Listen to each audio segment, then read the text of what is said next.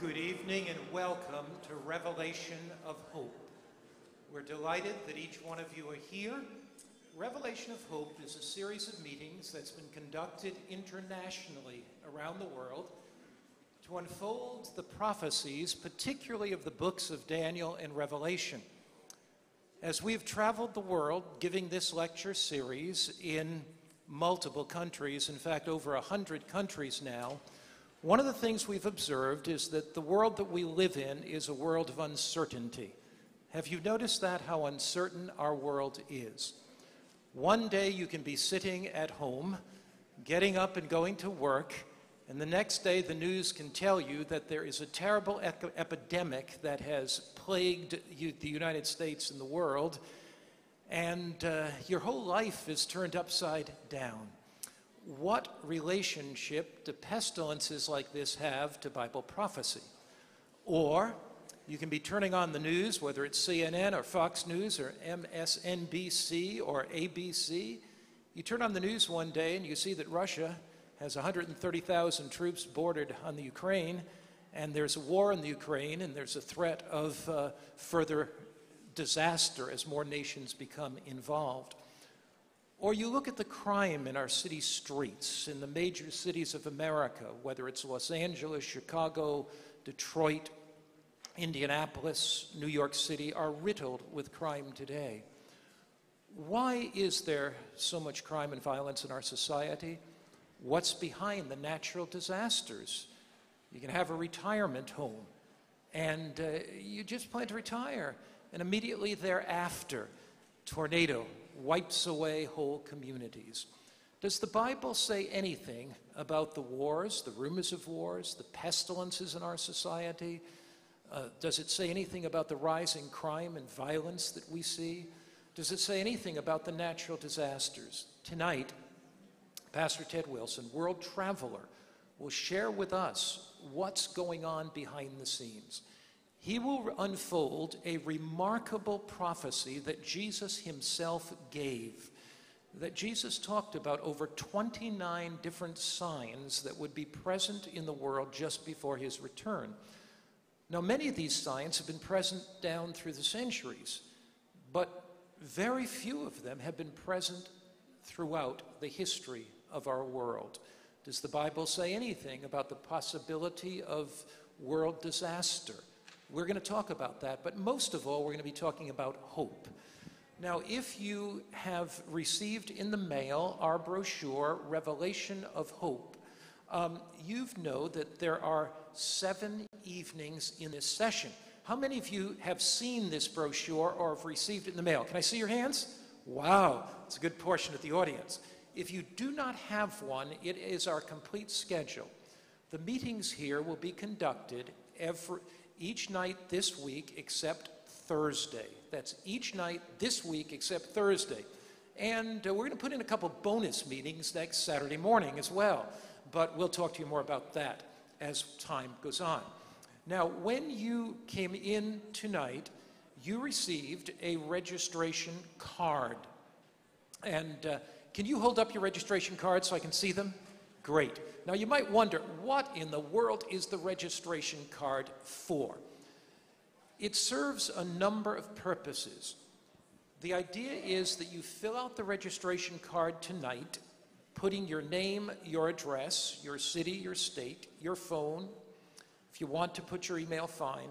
Give us an idea of your age and tell us um, about how you heard about the seminar. It really helps us in our advertising. You might have gotten a flyer in the mail. You might have seen some Facebook advertising, etc. Just check it off. If you have a denomination of a church, we people come from all different religious denominations. These lectures are for people that have religious affiliation and for people that don't. They're for people who are seeking, that want to know more. And then what you do after you fill this out is you take this card off, you can put it in your lanyard if you haven't done that yet. If you want to write your name on it, fine. It has a number on it that's distinctly yours. When you go out tonight, you turn this in. When you turn this in, you'll get a copy of the presentation tonight. We have copies in Spanish, copies in French, and copies in English. These meetings are being translated into those two languages. They're being translated into both French and Spanish, and of course, from the stage, we're speaking in English. We're also streaming these internationally and globally. So when you go out tonight, as you turn this card in, you will receive the copy of the presentation tonight. By the end of the eight nights, you will have copies every night of the presentations. You can put them in a notebook, and we're building for you what I like to call a library of faith. After you've come four nights, there's a book called Hope Beyond Tomorrow. And, and so when you come in tomorrow night, you're going to scan your, this little card that you have, this scanner card. You're going to scan that. When you get four scans, it doesn't have to be the first four consecutive nights if you have to miss one, but when you get four scans, then you will be able to um, get the book Hope Beyond Tomorrow. We give that out to you free. Then, once you have come seven nights and you're a serious student of prophecy, there's a new book that's been written. Millions of copies have gone out. The only place that you can get it in the Midwest is right here and it's called Secrets of Prophecy. Four color uh, book, charts, diagrams. Uh, if you are a Bible student or a beginning Bible student, you'll get a copy of that book. So the, this card is valuable. Your card. You can write your name on it, so if you lose it, you can scan it when you come in tomorrow night. And it's valuable because you're going to get a copy of the lecture when you go out, you're going to get a book after four nights, and then a hardcover book as well let me tell you about the next couple nights that are taking place. Incidental, I almost forgot. Is there anybody that didn't get a scanner card that wants one? Anybody here? Just raise your hand. Our ushers have them. We'll be more than happy to pass one out to you. Anybody that did not get a card when you came in? Looks like our greeters were really sharp tonight as they were greeting you. So just um, raise your hand if you did not get a card.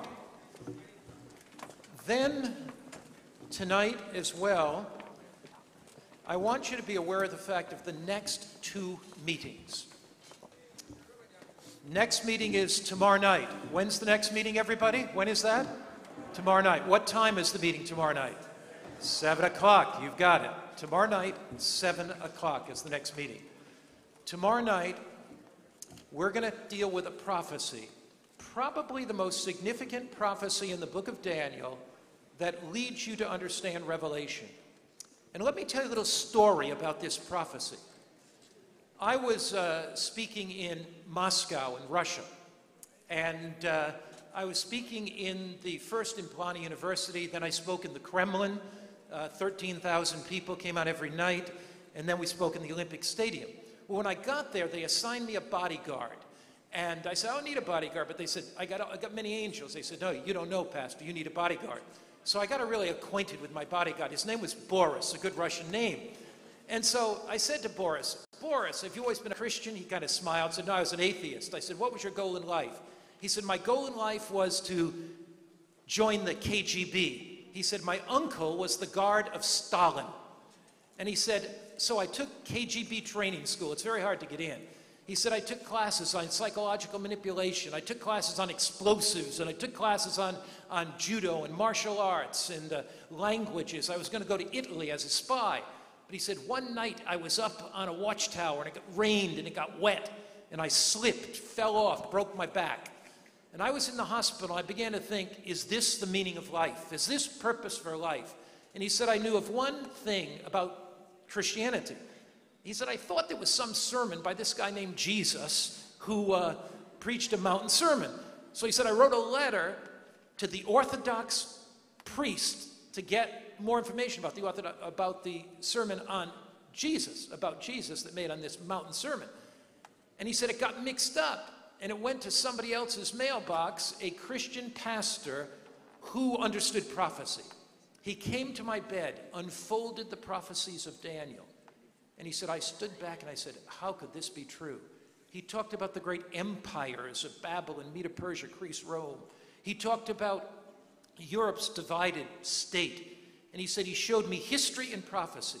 Tomorrow night, Pastor Ted Wilson is going to open the Bible before you. You're going to be amazed. You'll see on the screen these giant pictures of Bible prophecy, and you'll see history unfold before your very eyes. You don't want to miss tomorrow night, and you want to be sure that you bring as many people with you to attend the lecture on tomorrow evening, because it will put pieces together in the puzzle of life for you. Now, tonight, my friend Pastor Carmelo Mercado is here. Pastor Mercado, come on out. We have a number of people that speak Spanish. And so greet them in Spanish tonight, and then I'm going to ask you to offer prayer. Bienvenidos a todos los que hablan el idioma del cielo, que hablan español. Estamos muy agradecidos de estar aquí con, nos- con nosotros en esta mañana, en esta noche.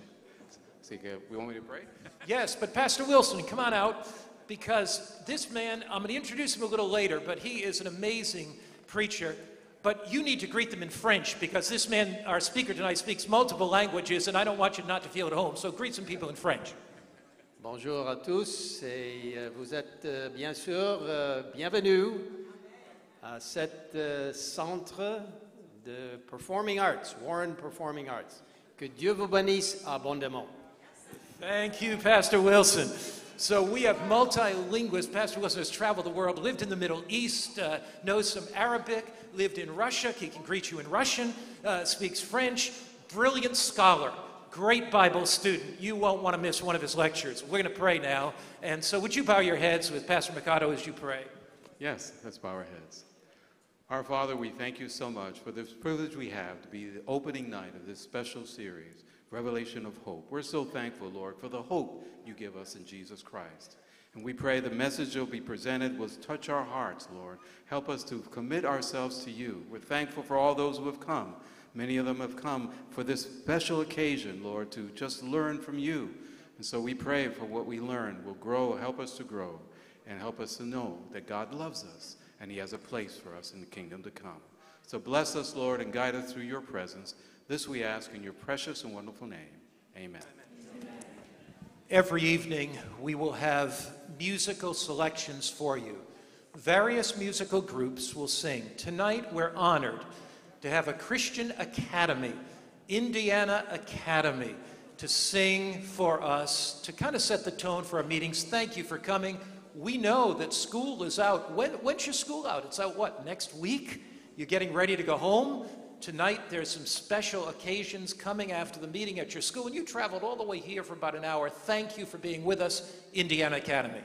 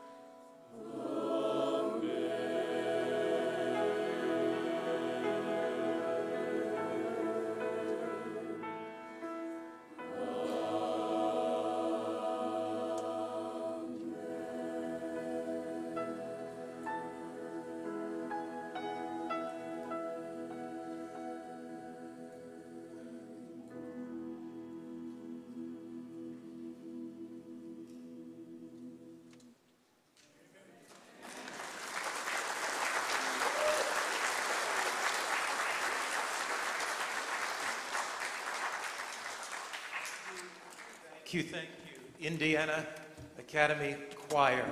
Isn't it refreshing to see Christian young people with smiles on their faces and sparkles in their eyes and joy in their life because they've found deeper purpose and meaning? Here at Revelation of Hope, we are very confident that as we look at the book of Revelation, it shares principles purpose, meaning, and direction as it unfolds prophecy. In the book of Revelation, prepares men and women for the coming of Jesus, physically, mentally, emotionally, and spiritually.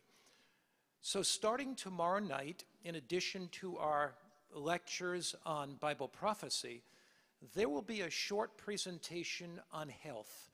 And tomorrow night, we're going to be talking about the great diseases that are afflicting 20th century humanity. Some 500,000 people die of heart disease.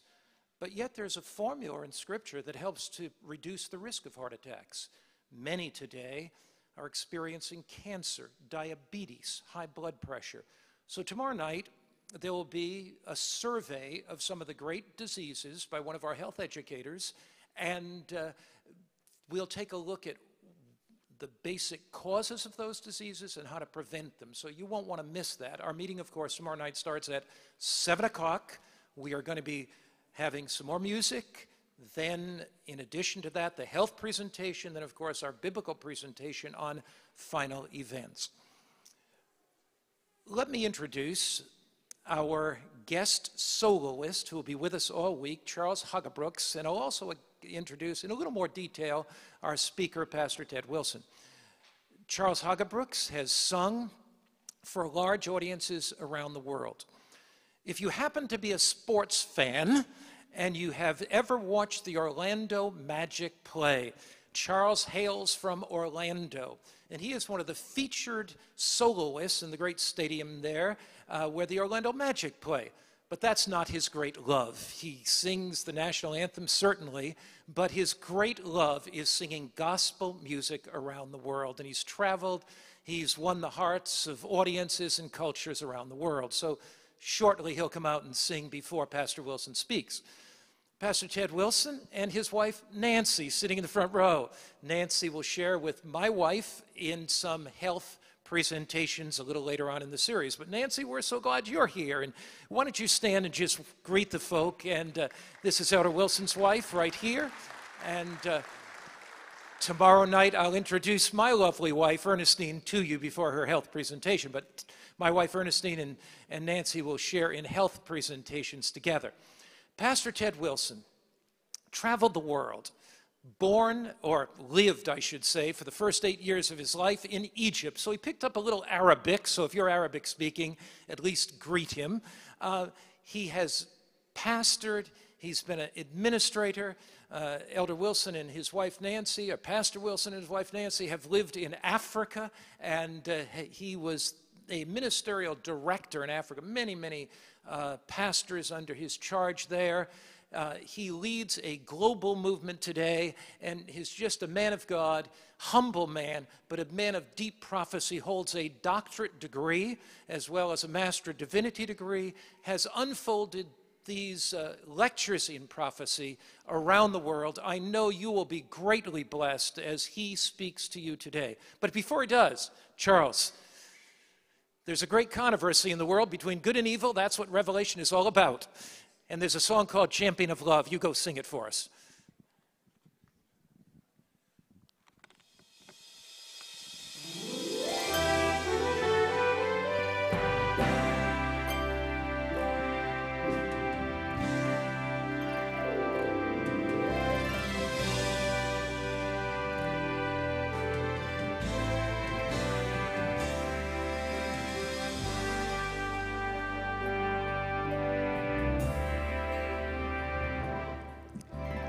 Ladies and gentlemen, may I have your attention? I'd like to introduce to you in this corner of the good and the right.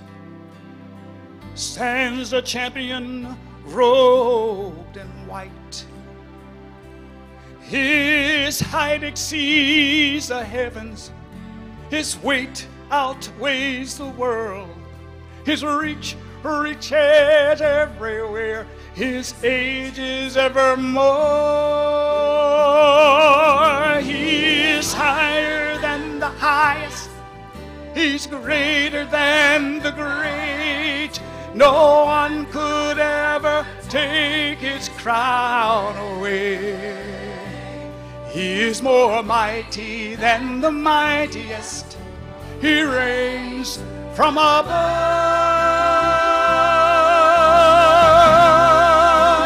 He's the all-time undisputed undefeated champion of love,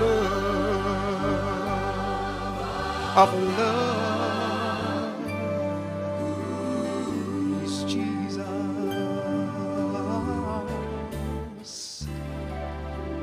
Now he left his hometown to enter this arena to raise his hands in victory for me.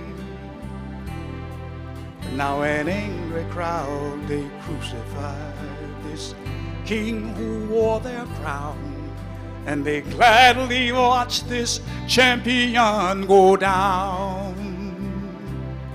But I will never count him out, for I'm a witness of the day he rose to retain his title as the champion of love. He is higher than the highest, he is greater than the great. No one could ever take his crown away. Is more mighty than the mightiest. He reigns from above.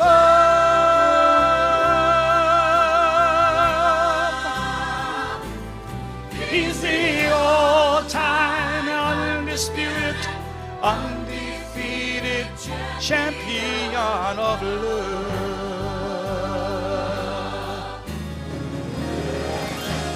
He is higher than the highest. He is greater than the great. No one could ever take his crown away. He is more mighty than the mightiest. He reigns from above.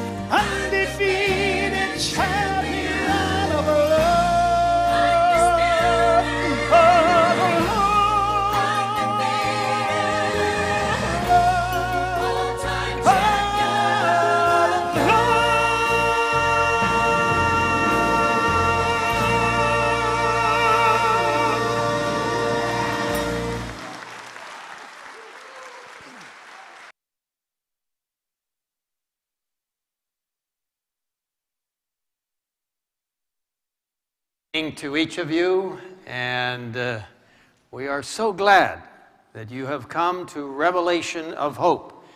Wasn't that a marvelous song about the greatest champion of love? Every night, you're going to be hearing powerful messages from the Word of God, but also from the vocal cords of Charles Haugabrooks.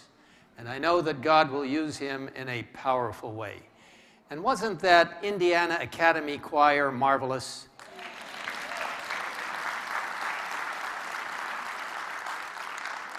Young people using their talents not just for their own benefit, but to the glory of God. I want to thank all of you for coming again. You know, you didn't have to be here tonight. You maybe had other plans. Maybe that large storm system moving in towards the center deterred your conviction to come, but God steered that storm away and you're here. And God wants you here because this is the revelation of hope. In fact, we have it being translated into a number of languages, including on the screen on both sides, Revelación de Esperanza in Spanish, and on the main screen in English. In whatever language you speak, let me tell you, the Word of God will speak to you. So you didn't come here necessarily to hear me speak, or Pastor Finley, or others. What we've come here tonight to hear is the Word of God. And I'm going to challenge you. You're going to see on the screen beautiful Bible texts.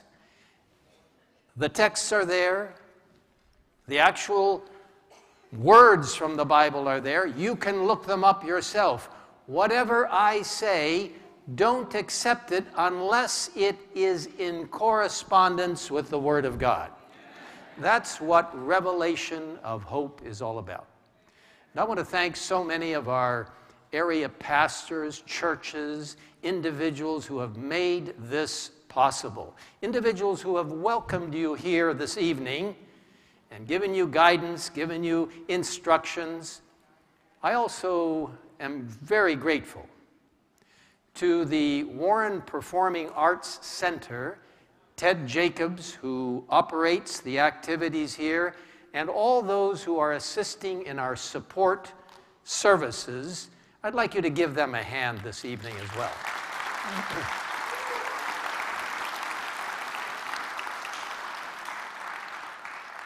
What an opportunity for us to delve into the Word of God, and we are on a journey for the next week.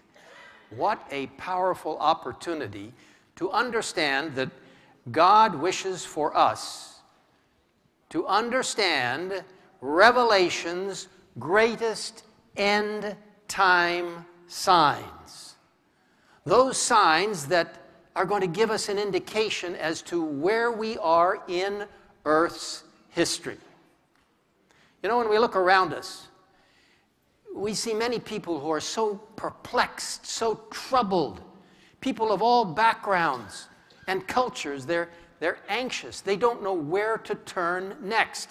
They're worried as they look to the future, even as the stock market has been plummeting in the last few days, as tensions have risen all over the world, and as the very challenging war continues in Ukraine.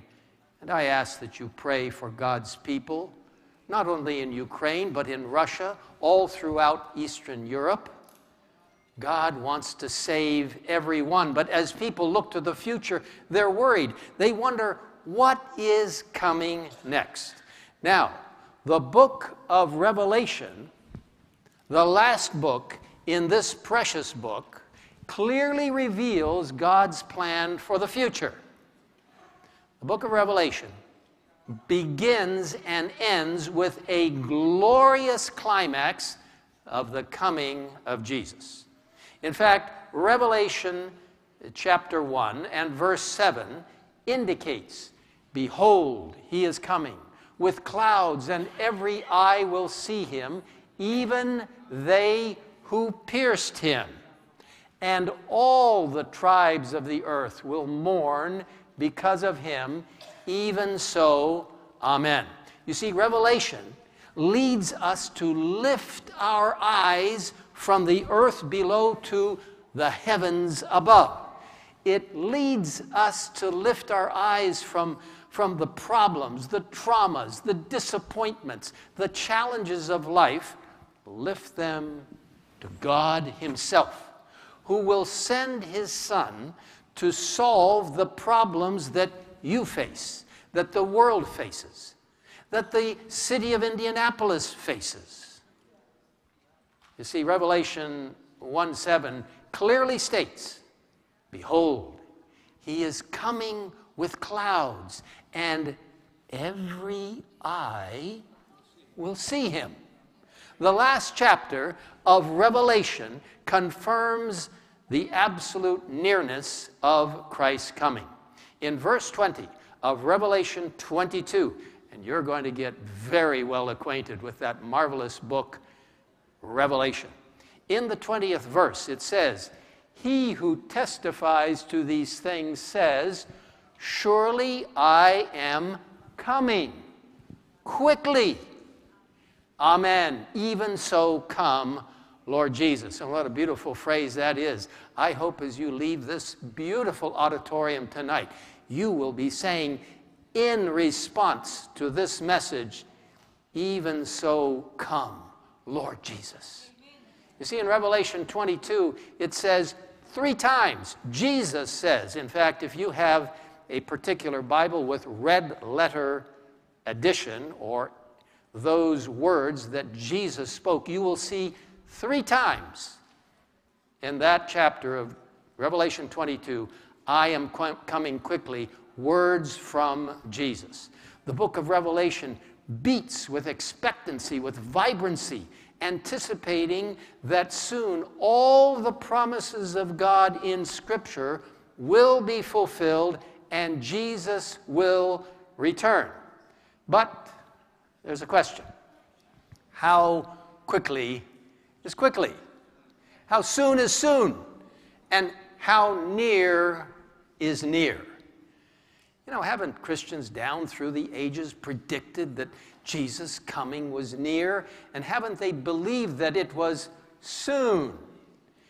Is there any evidence throughout the Bible that the coming of Jesus is actually near, literally, so that you and I might be able to see him personally coming in the clouds of heaven? What signs might there be from the Bible indicating such a nearness? Now, we're not the first ones to ask that kind of a question. The disciples of Jesus himself wondered what those signs were that pointed to his coming. And they came to Jesus one day and they said, recorded in Matthew 24, What will be the sign of your coming and of the end of the age? Now, in Matthew chapter 24, Jesus outlines, it's a magnificent chapter. If you haven't read it lately, I hope all of you have read it. But if you haven't read it lately, go back tonight, find your Bible, and read through it. It outlines more than 20 signs of Jesus' return. Now, in, a, in an absolutely masterful presentation by Christ, he blended the events associated with the fall of Jerusalem in the year 70 AD, which of course he was predicting, because it wasn't 70 AD when he predicted it, it was earlier than that. And it also beautifully blends with what will take place at the end of the world. And he gave signs of his return that would be occurring in the world of religion, in the world of politics, in the world of nature, in the world of society. The first of these signs is in the world of religion. Jesus said before the end that there would be false Christs and false prophets. Matthew 24, and again, this is a very important chapter. I hope you will be focusing on it personally. Verse 24 For false Christs and false prophets will, will rise and show great signs and wonders. So, before the coming of Jesus, this is very important, before his return, we should expect an explosion of interest in religious leaders who are leading people from the Word of God and leading them into false signs, leading them astray in miracles that are not from God. You see, merely because a miracle takes place, it doesn't mean that the one who claims to have worked the miracle is working with God. There can be another source behind the miracle. The Bible teaches that evil spirits can perform miracles. The same book, Revelation chapter 16 and verse 14. For they are spirits of demons performing signs which go out to the kings of the earth and of the whole world to gather them to the battle of that great day of God Almighty. So these false teachers point to miracles that they are doing as an evidence that what they are saying is true. But the signs will be demon inspired to deceive men and women. They're counterfeits.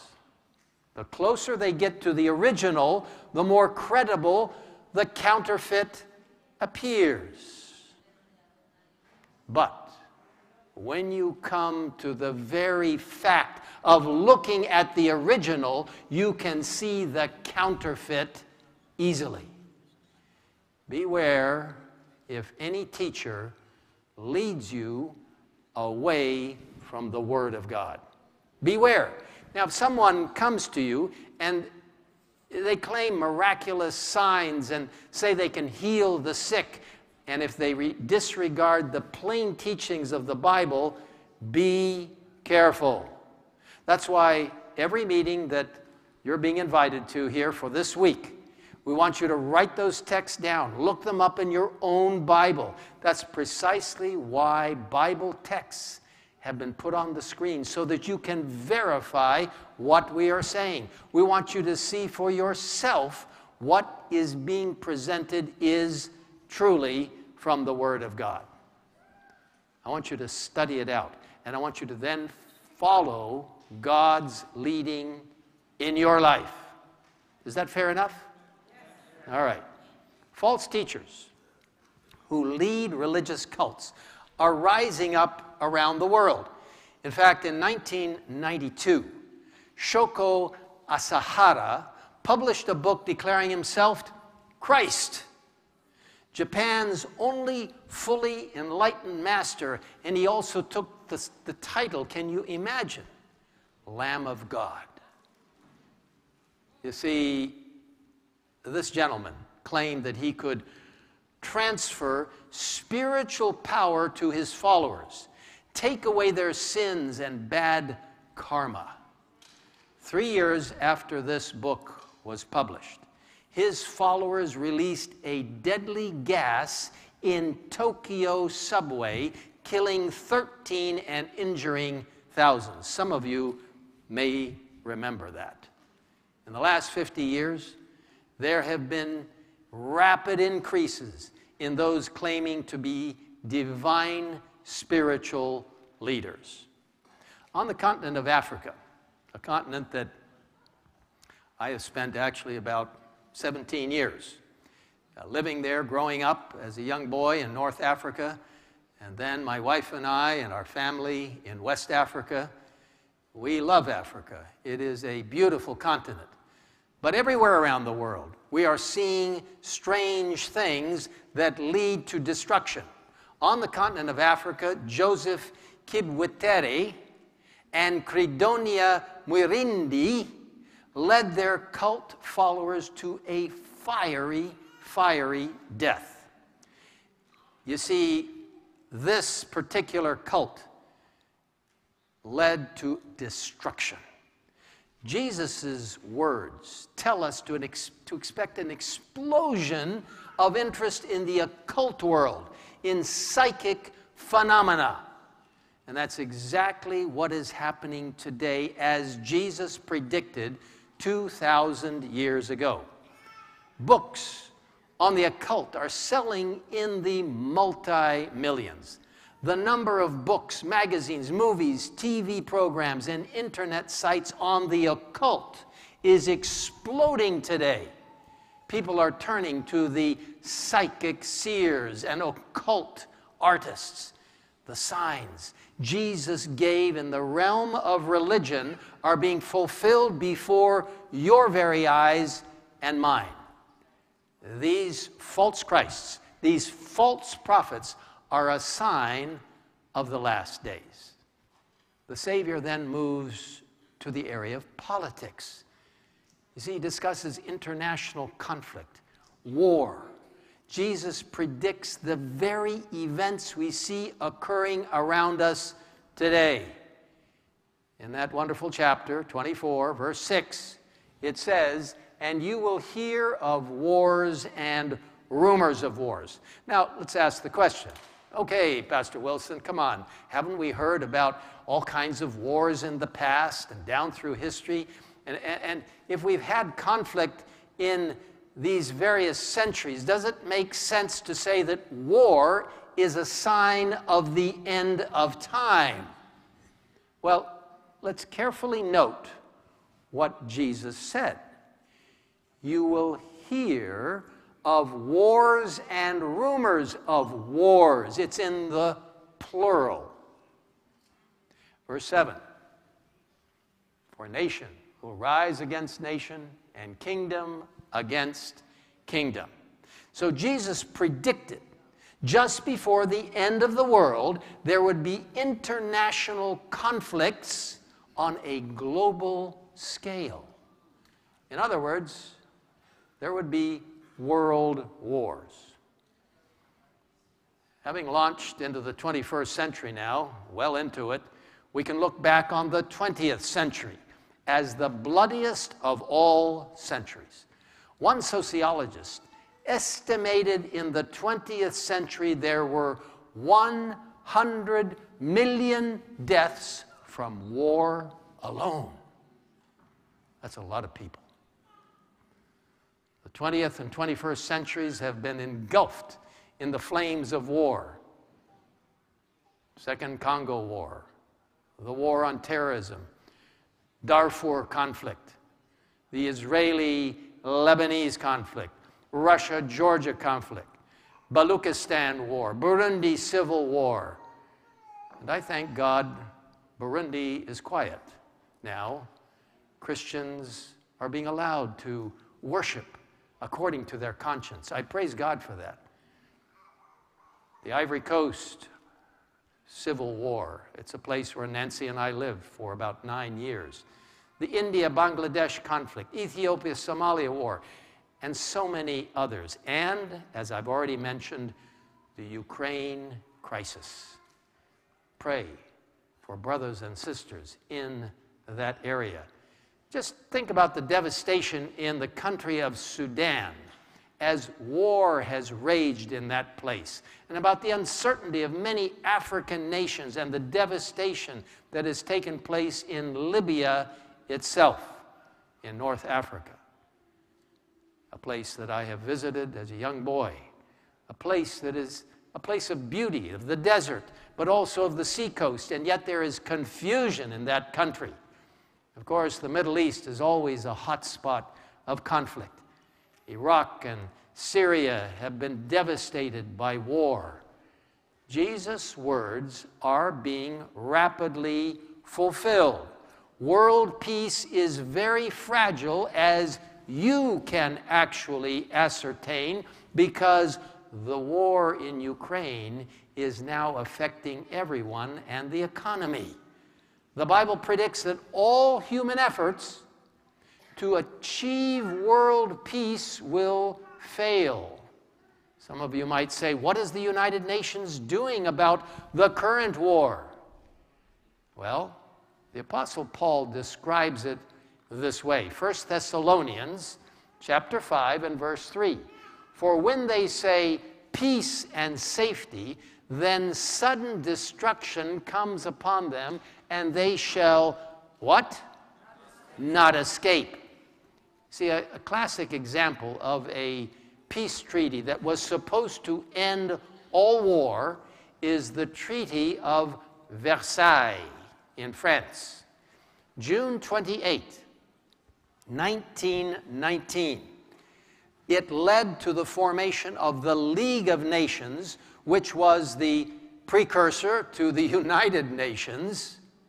But of course, it wasn't very long before the worst world war in history, World War II, broke out. And this led to the formation then of the United Nations in 1945 after the demise of World War II. For all the best efforts of the United Nations, it has failed to achieve world peace. War has continued to engulf our fragile planet. Now, the Bible says, when they say peace and safety, then sudden what? Destruction comes upon them. And we're seeing these prophecies being fulfilled today. I want to tell you, my friends, here in Indianapolis, a great city, a wonderful place, the Bible is so accurate. You can believe the Bible, it speaks to our day. The Bible says Jesus would come at a time when the human race has the potential for world destruction. Never before in history has the human race had the ability or the capacity to destroy itself. Revelation describes it this way The nations were angry, and your wrath has come, and the time of the dead, that they should be judged, and that you should reward your servants, the prophets, and the saints, and those who fear your name, small and great and should destroy those who destroy the earth. So when Jesus comes to give out his reward, and you can read interesting account in Matthew 25, the next chapter, when he comes to give out his reward at a time when the, the human race has absolutely reached the capacity to destroy the earth, you can know we are at the end of time. You see, didn't the human race have the capacity to destroy the earth 100 years ago? No. They could destroy a lot of people, but not the entire earth. Today we have nuclear weaponry enough to destroy the earth multiple times. There have never been weapons made that have not been used. So Jesus said when the world would be gripped with fear, he would step across the threshold of time and eternity and he would come to deliver us. Luke 21, verse 26. Men's hearts failing them from fear and the expectation of those things which are coming on the earth. For the powers of heaven will be shaken. Now, when you're fearful, when you are anxious, when you are troubled because of whatever is facing you and the world, don't look around you. Look up, for the coming of the Lord draws nigh. I think I hear the footsteps of the coming of Jesus. All of history is moving towards a grand climax. And Jesus says, Lift your eyes from this earth and focus them on a divine reality. Jesus says, I am about to return. Revelation reveals that there is hope. And therefore, the title of this week's presentations Revelation of Hope. There are signs in the world of religion, signs in the world of politics, signs in the world of nature. The Bible predicts that all nature will be out of control just before the coming of Jesus Christ. You live in a beautiful area, but I might say sometimes in a dangerous area. You can expect tornadoes. You can expect fires, floods, hurricanes, and an epidemic of destruction that is ahead of us, not just for areas that seem prone to that, but for the entire planet. among these natural disasters is the Bible's prediction for worldwide hunger and famine. Matthew 24, verse 7. There will be famines, pestilences, COVID 19, and earthquakes in various places. So we've had famines. We've been having people who have been hungry, hungry children, throughout history. We've always had famines. But now one might ask, what's the difference? Jesus didn't predict a famine, but he said there would be famines, plural. Famines on an international scale. Hunger on an unprecedented scale just before his second coming. And as we look over this world, indeed, this prophecy and others are being fulfilled. The United Nations reported recently there is a severe food shortage in 38 of the major countries of the world. One sixth of the world's population will go hungry tonight. When you go to your supermarket and you find food and you satisfy your hunger, remember there are millions of people who will go to bed hungry. Thank God every day for the blessings He provides to you and to me. Experts, and don't forget to try and help those people. In fact, the United States is one of the greatest nations in helping other people, and may it always be that way. A feeling and a sense of generosity. Experts estimate that for 2 billion people in the world today, nearly one third of the world's population, chronic hunger is ever present in daily life. You see, Jesus' predictions about famine are coming true with uncanny accuracy. 10,000 people per day, 3.5 million people per year die of starvation. There are more and more people to feed and less and less food for them to eat. Drought in the Horn of Africa in 2011 resulted in the death of tens of thousands. Half the population of Somalia was affected by the famine.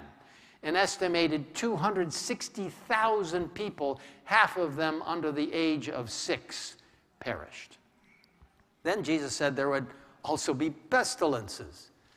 Matthew 24, verse 7, there will be famines, pestilences. Well, what's, what's a pestilence? Well, it's a strange disease that affects human beings, crops, and the environment. And they can result from natural causes or be triggered from carelessness by human beings. Matthew 24 says there will be famines and pestilences. This prophecy is being fulfilled rapidly. You see pesticides on crops. And here in the state of Indiana, you're a tremendous farming state. You know that the reason farmers put pest pesticides on the crops is because these diseases are destroying the crops. So pestilences are rapidly spreading in various parts of the world.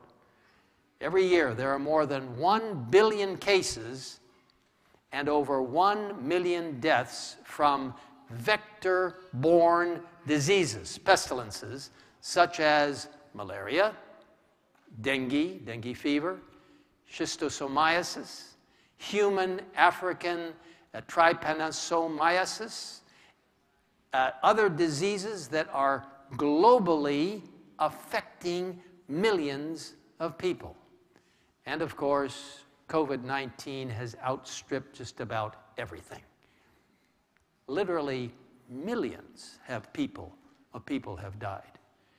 Recently, 104 Nobel Prize winning scientists, plus more than 1,500 prominent international scientists, signed a document entitled Warning to Humanity.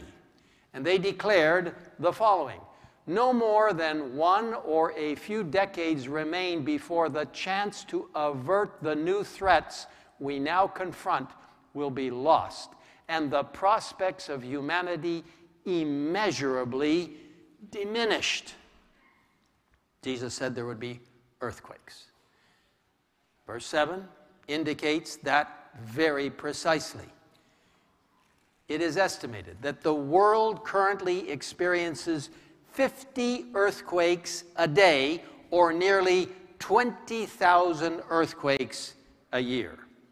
Since the turn of the new millennium, it is estimated that there have been over 800,000 deaths from earthquakes and related tsunamis, those great waves that are caused by the shock effect of those earthquakes. Uh, Luke 21, verse 11, indicates, and there will be great earthquakes in various places, and famines and pestilences.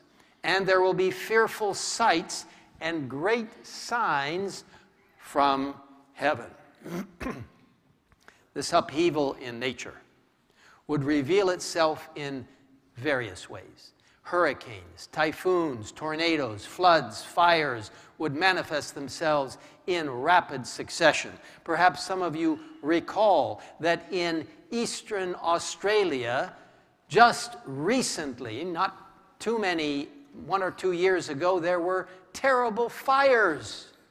And then just recently in eastern Australia, terrible floods from one disaster to the next. The news is full of disasters affecting millions of people. In just the years since 2001, there have been countless thousands killed, injured, displaced, and financially disrupted by fires, floods, heat waves, volcanic eruptions, hurricanes, typhoons, tornadoes, or drought.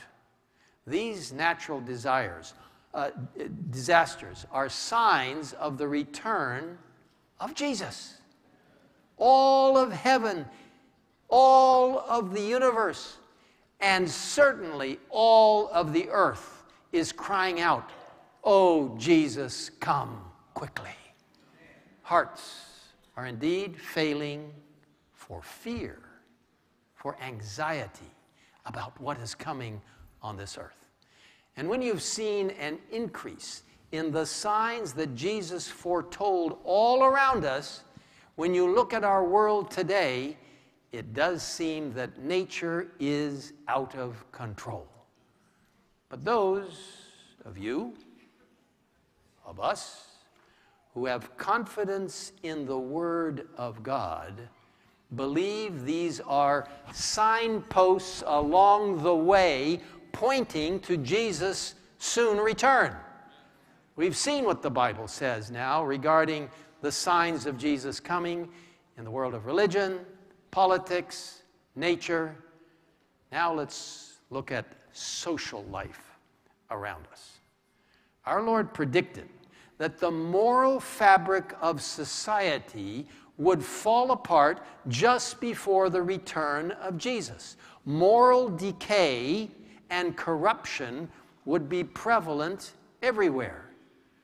Verses 37 and 38 say, But as the days of Noah were, so also will the coming of the Son of Man be.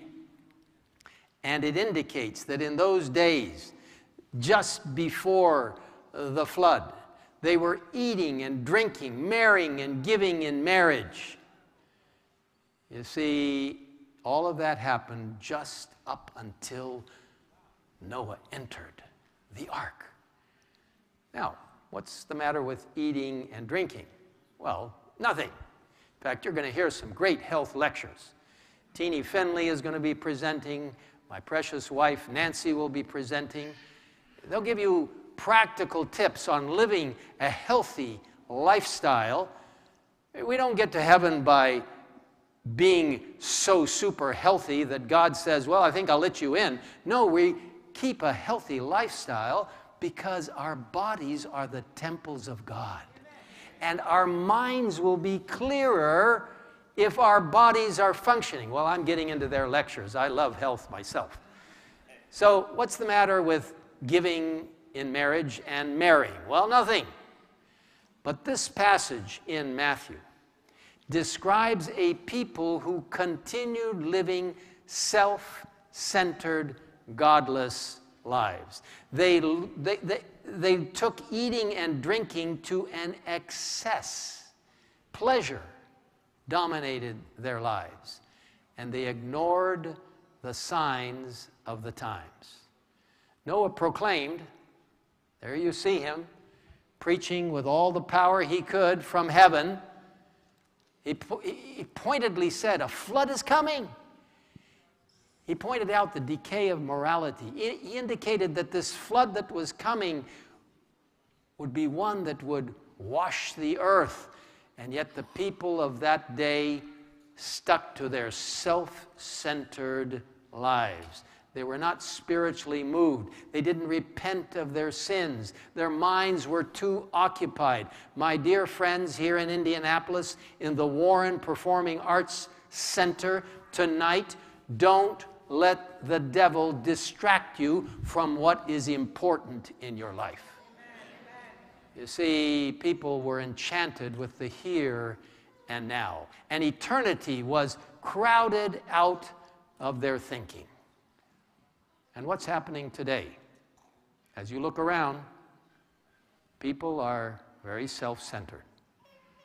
They're wanting whatever pleasure they can get out of their lives. And what's the result? The breakup of the family unit and a complacent attitude towards spiritual things and moral living. Do we see that happening today? The Bible model for the family is being shattered in modern society. Divorce and separation and failed relationships affect millions of homes every year. Children from fatherless homes are especially vulnerable to suicide, criminal behavior, drug dependency, behavioral disorders, being rape victims or rapists themselves, teenage pregnancy, and a higher risk of going to prison later in life. You see, the Bible's prophecies are being fulfilled before our very eyes, even tonight. But what a tragedy that love has degenerated into sexual immorality in so many cases. And what a tragedy that homes are breaking up. We can thank God that whatever circumstances you find yourself in tonight, even if you are one of those statistics that we've just looked at, God can heal your heart. God can give you a new sense of His love and care for you. He'll put His arms around you and He offers you a new future. Whatever mistakes you have made, whatever situation you find yourself in now, whatever bewildering, perplexing problems you face, God can forgive you and give you a new start. We live in a world of rising crime and violence, similar to Noah's day.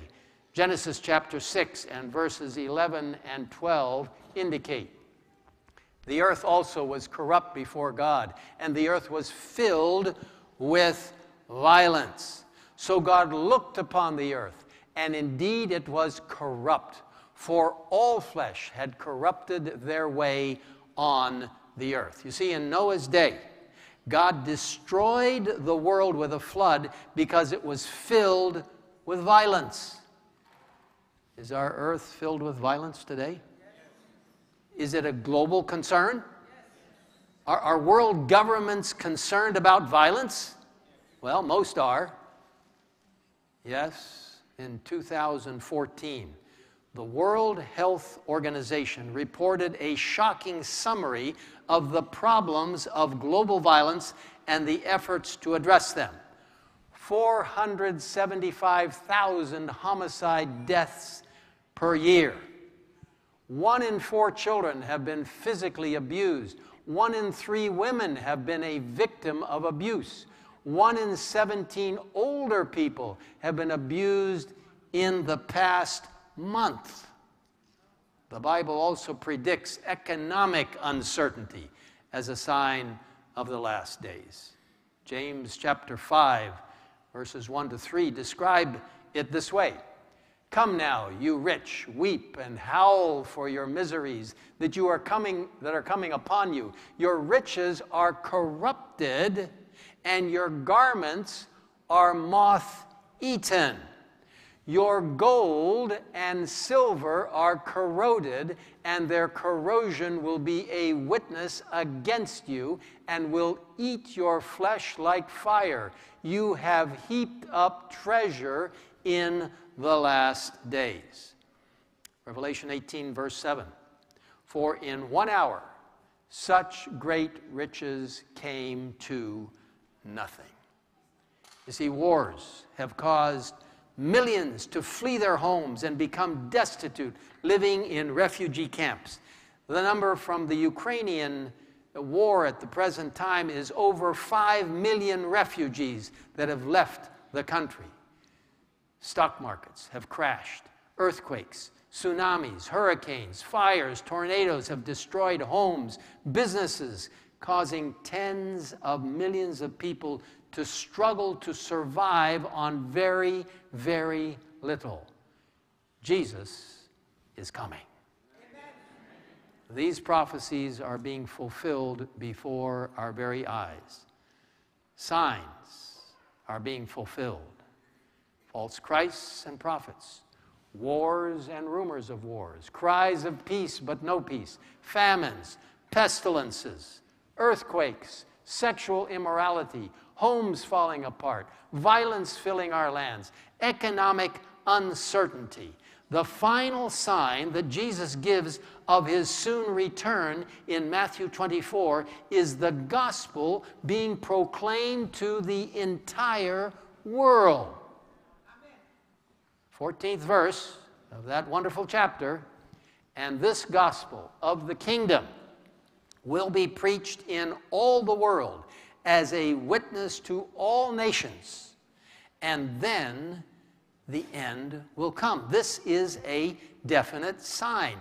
Revelation chapter 1, verse uh, 14, verse 6 echoes this thought as well. Then I saw another angel flying in the midst of heaven, having the everlasting gospel to preach to those who dwell on the earth, to every nation, tribe, tongue, and people. So in Revelation, Jesus says, You will know we have come to the end by the final sign. When you see the gospel quickly going around the world in a powerful manner, you will know that this prophecy is being fulfilled today. You see, today, the gospel leaps across all the barriers through radio, television, internet. How many of you happen to have a cell phone? I think almost all of you. Many people now receive text messages and biblical presentations right on their cell phones. God is reaching people in every way possible. In a mountain, remote village in Southeast Asia, a tribe receives a transistor radio. They begin listening to the short wave signal of Adventist World Radio, a Christian radio network broadcasting truth filled gospel presentations. As they listened to the Word of God, the whole village was transformed by God's grace and became Christians. In a wealthy Middle Eastern home, a Muslim family began watching Christian televisions, television. Their lives were changed, and they too now are on God's side. God is on the move. Prophecy is being fulfilled around the world. God is doing something special, my friends, here in Indianapolis. He is fulfilling His precious word. We are on the verge of the kingdom of God.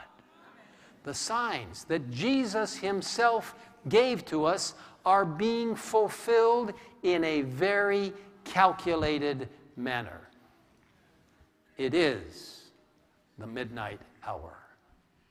And God is appealing to men and women, boys and girls, young people, everywhere, to you here in Indianapolis and right here in the Warren Performing Arts Center, and to those of you watching on live streaming, wherever you are in the world, God is appealing to you to be ready for His return. Tonight, how many of you would like to simply raise your hand and say, Yes, Jesus, I believe you're coming soon.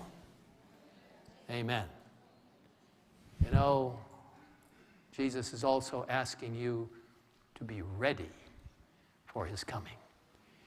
If there's anything in your life tonight that might keep you from being ready for that marvelous second coming of Jesus Christ, it's time for you to surrender that to the Lord of Lords, the champion of love, as Charles sang earlier. He wants to save you. And not only you, he wants you to share with others because Jesus is coming soon. Before we have prayer, Charles, come and sing another magnificent song. This is a song I love personally The Midnight Cry. Charles.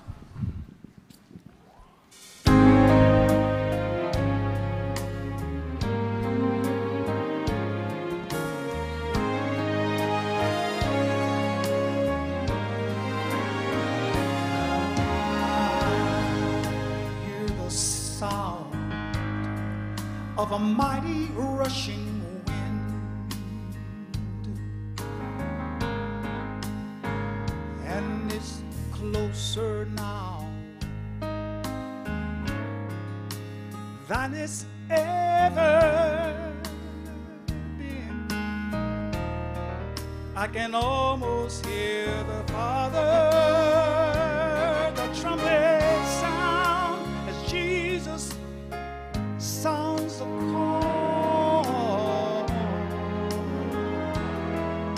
That midnight cry,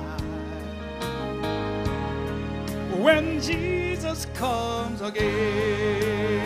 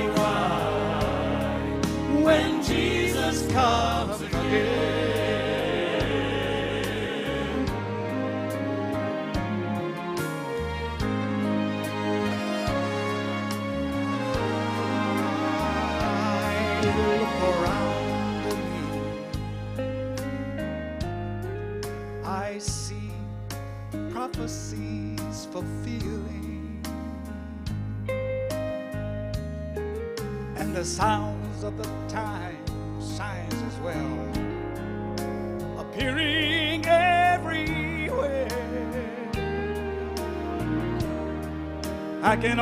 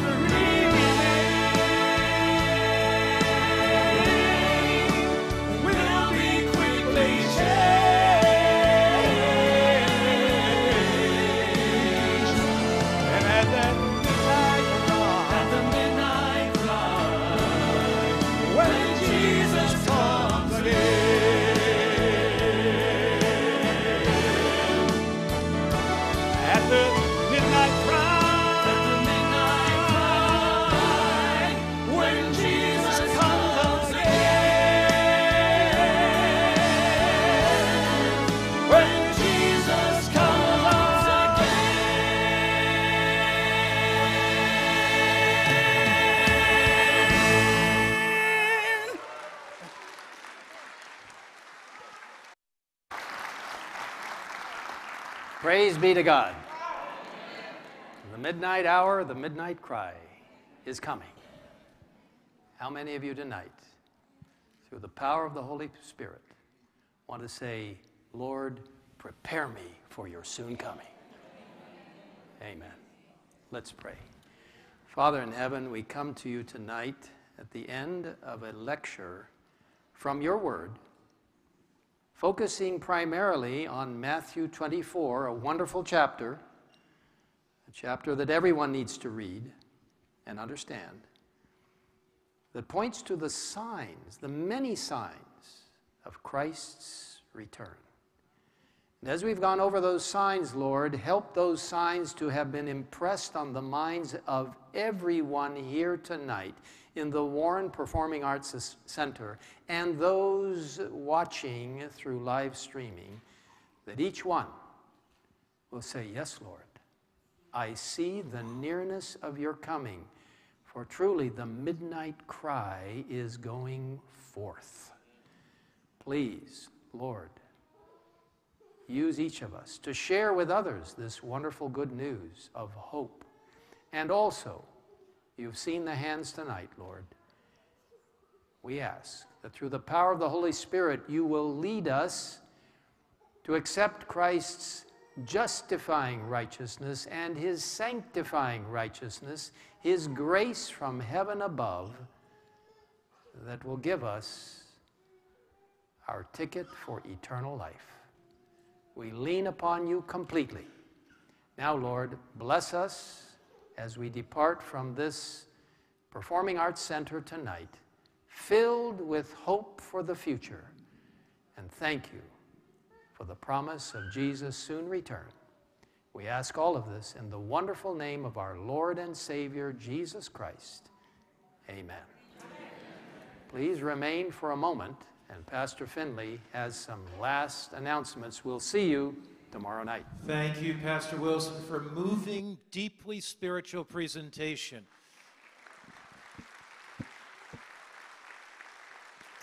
The signs of the times, Matthew chapter 24. We go home with a sense of urgency in our heart, but a sense of hope. Tomorrow night, don't miss, 7 o'clock, be here. We have a health presentation on the great diseases that are affecting 21st century humanity and how you can prevent those diseases and look forward to living a healthier, happier life. Pastor Wilson tomorrow night will be speaking on the subject, the final events of Earth's history. He will outline the great nations of the world that have ruled the world, God's prediction of the next superpower that's to come. You won't want to miss that. It's very clear. History has been following the Bible like a blueprint. On the giant screen, we'll look at history, we'll look at nations, we'll look at the dates that they ruled, and we'll compare that with the book of Daniel. That will prepare us for Revelation's prophecies for the rest of the week. So we look forward to seeing you tomorrow night. This week, we have meetings every night except what night? Except what night? Third. That means there's meetings on what? Sunday, Monday, Tuesday, Wednesday, Friday, next Saturday night. Now, as you go out tonight, couple things. Be sure to turn in your registration card. When you turn that in, you'll receive a copy of the presentation tonight. Well, it's a Bible lesson that you actually can take home, study your Bible. We have it in French, in Spanish, and in English. So if you are a, how many Spanish speakers do I have here tonight? How many Spanish speakers? Okay. How many French speakers? The translations are translating this. How many English speakers? All right. So if you need it, whatever language you need it in, talk to the ushers on the way out. You'll get a pre- you'll get your Bible lesson that you can do. Remember, turn the registration sheet in, take your card separate from that. When you come in tomorrow night, scan your card. When you scan four times, you get my new book, Hope Beyond Tomorrow. It looks at the prophecies. When you've scanned eight, uh, seven times, you get a new hardback book, full color charts, diagrams, a couple hundred pages, uh, called Secrets of Prophecy. Good night. God bless you. I look forward to seeing you tomorrow night. You're going to hear some more Charles tomorrow night, too, and you're going to be blessed. Good night.